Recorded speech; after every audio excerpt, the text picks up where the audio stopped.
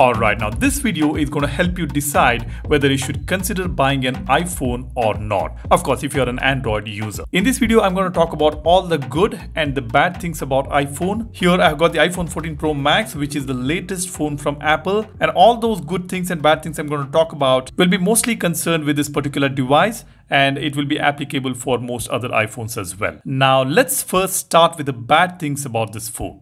The first thing you're going to notice when you hold this phone is this is heavy and bulky. Usually the Pro versions of the iPhones are heavier and bulkier and it is a bit uncomfortable to hold it. Though this iPhone 14 Pro Max packs a battery size of around 43 to 4400 mAh, the phone is very bulky and heavier to use. You definitely need two hands most of the times. Now if you look at some of the phones in Android, especially the S22 Ultra, though it's a big device, it is a bit easier to handle compared to the iPhone 14 Pro Max. Now let me not compare this with the Galaxies or the other Androids because there will be a dedicated video coming up on uh, the S22 Ultra versus the iPhone 14 Pro Max so stay tuned for that video. Now let's move to the second bad thing about the iPhone. They come with a proprietary lightning cable and you will have to carry the lightning cable wherever you go around. In some of the countries, it is very difficult to find a lightning cable because most people use Android. And by any chance, if you forget your cable at home and go to a hotel or go to any other place, you might have to ask many people to borrow a lightning cable.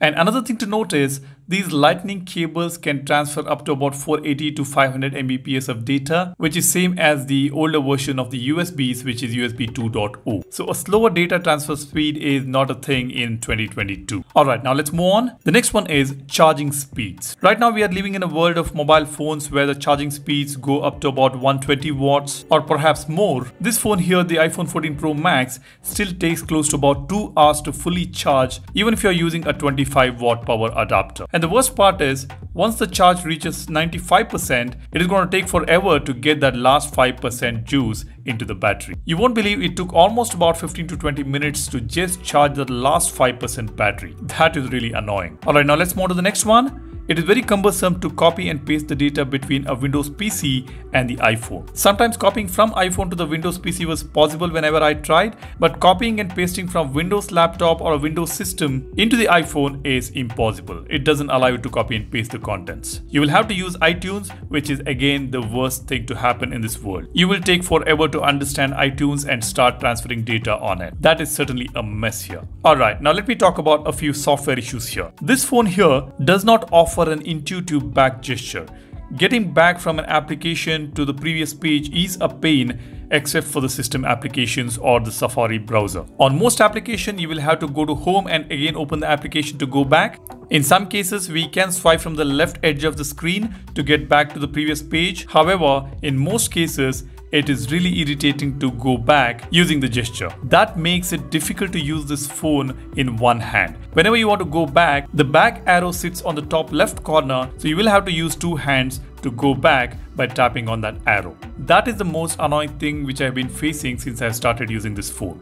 And the next issue is with the recents menu. If you want to close all the applications in the background, you cannot do it by just a tap. You will have to close each app by swiping it up Whereas on Android phones, we do get close all option, which is not here on the iPhone. That is really strange. I'm not sure why Apple is not able to implement that simple basic feature to close all the applications at one go. The next major issue with this phone is lack of customization options, including the home screen launchers. Now here I would like to just give a few examples about the Android phones where we can customize most of the things on the phone. We can customize the launcher. We'll be able to install the third-party home screen launchers.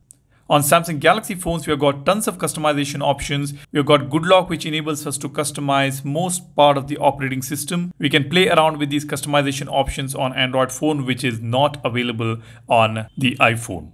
The latest customization feature we have got is the lock screen customization on iOS 16, which is cool, but this is not really good enough. If you're a basic user, you would still be happy with this phone. But if you're into customization, this phone does not allow you to do that. Alright, the next one is, it does not offer fingerprint unlock. Though the Face ID is really good, a fingerprint unlock would have been really nice.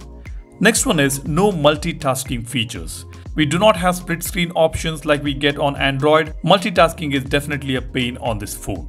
Next, this phone does not allow side loading of applications like Android phones. Whatever you get on the Apple's App Store, you will have to download and install them and in most cases, most applications are paid. That's another thing to note here. The last bad thing I want to talk about is using maps on Apple CarPlay. The Maps is not as good as Google Maps and by default we will have to use Apple's own Maps application on Apple CarPlay. And unfortunately if you want to talk to Google you can't do that. While driving Siri is the only virtual assistant you can access.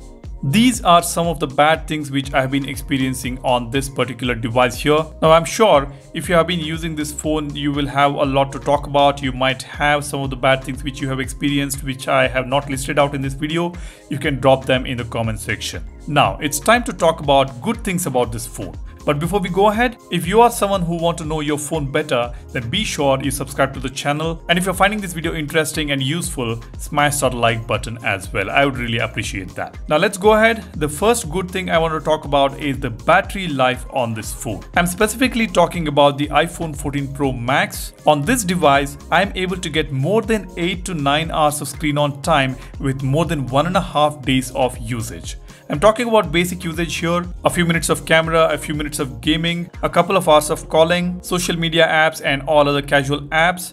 With this kind of usage, I get close to 9 hours of screen on time and more than 1.5 days of battery life with a very less idle time battery consumption. The battery optimization is just amazing on this phone and I'm 100% sure you will not get that kind of an optimization on an Android device. Just imagine charging the phone in the morning to 100% and using it till the next day evening sounds really crazy isn't it? Alright now let's move to the next good thing about this phone. The brightness level on this phone can go up to 2000 nits and you may think that this is not really required. Around 1500 to 1800 nits of brightness is good enough for under the sunlight viewing but believe me guys this 2000 nits of brightness will really improve the visibility under the sunlight. And you know what, this does not get activated under the normal bright light conditions. Only when you go under the sunlight, the maximum brightness will peak to 2000 nits, which is noticeable. You will have to really closely observe it to see that change happening when you take your phone under the sunlight. Alright, now the next thing is this phone does not heat up even when you play games or use camera for a longer period of time. Of course, there will be slight increase in the temperature, but you don't feel that heat as you feel it on the Android phones. Even while you are using the maps in the car while you are connected to Apple CarPlay wirelessly, the phone does not heat up. Whereas on most other Android phones I've seen, the phone really heats up while playing games, while using camera or when you're connected on Android Auto. That's an important point. The next one is the cameras. The cameras are just brilliant on this device. I don't want to get into the technical specifications or I don't want to drag this video into talking about camera. I would just like to say that camera performance is just amazing. The all new cinematic mode is crazy and this phone takes some amazing pictures for sure. Next one is the iOS.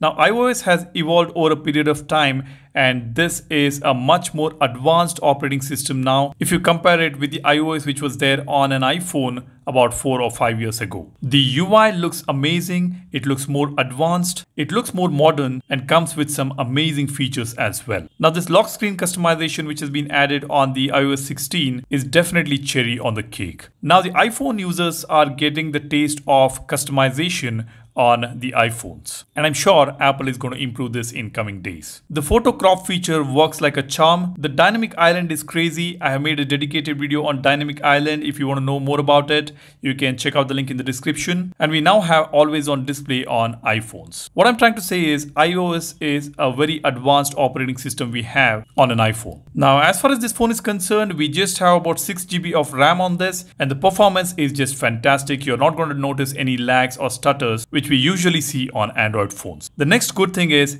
the animations. Now believe me guys, the animations on this phone is buttery smooth and I've been using this phone for the last couple of weeks and I have never noticed a stutter or a lag in the animations which is just crazy. The transition effects are very very smooth and on this 120Hz display you're gonna love using this phone with these animations and I'm sure a lot of people love animations and if you're into that you're gonna love this phone. Okay, now the next good thing is the security of the device. This phone does come with a very strong security because the iOS is a closed system. It is not an open source software like the Androids. This is a closed system and Apple completely controls it. It doesn't release its source code to the application developers and even the phone owners. So it is not as vulnerable as the Android phones to the threats. Maybe I'll make a separate dedicated video on the security of this device in the future, so stay tuned for that. The next one is haptics. The haptics on this device is really great. I would say it is much better than any other Android phones out there.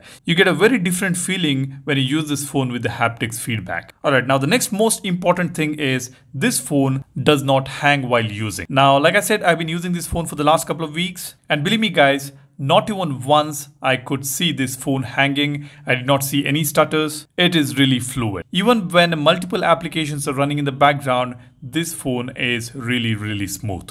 The last thing I want to talk about is bloatwares. There is no bloatwares whatsoever on this device and you will also not see Google or any other applications tracking your activities on the phone. It is not going to throw any kind of advertisements while you're browsing on any websites and it will also ask you to not allow the application to track your activities on the device.